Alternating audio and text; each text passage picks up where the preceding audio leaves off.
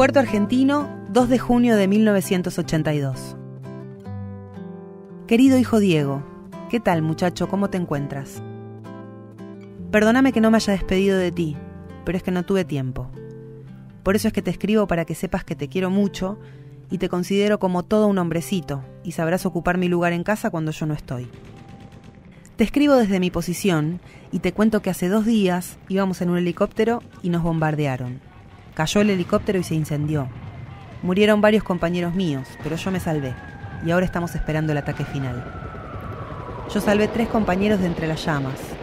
Te cuento para que sepas que tienes un padre del que puedes sentirte orgulloso. Y quiero que guardes esta carta como un documento por si yo no vuelvo. O si vuelvo, para que el día de mañana, cuando estemos juntos, me la leas en casa.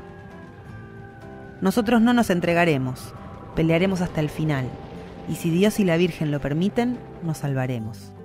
En estos momentos estamos rodeados y será lo que Dios y la Virgen quieran. Recen por nosotros y fuerza hasta la victoria final. Un gran abrazo a tu madre y a tu hermana. Cuídalos mucho, como un verdadero Acosta. Estudia mucho. Viva la patria. Cariñosamente, Ramón Acosta.